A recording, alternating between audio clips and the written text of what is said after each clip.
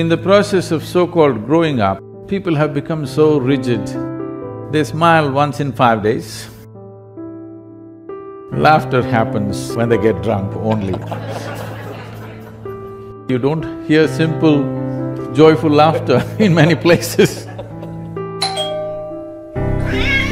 But when a child comes without knowing why, you laugh, you crawl under the sofa, you do this and that, you learn to throw a ball properly You do things which you would have never done by yourself, simply because this bundle of joy has arrived in your family, and it's a privilege.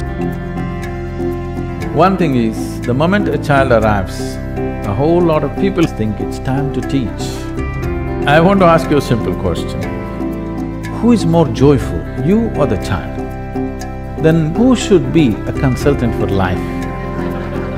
The miserable one or the joyful one?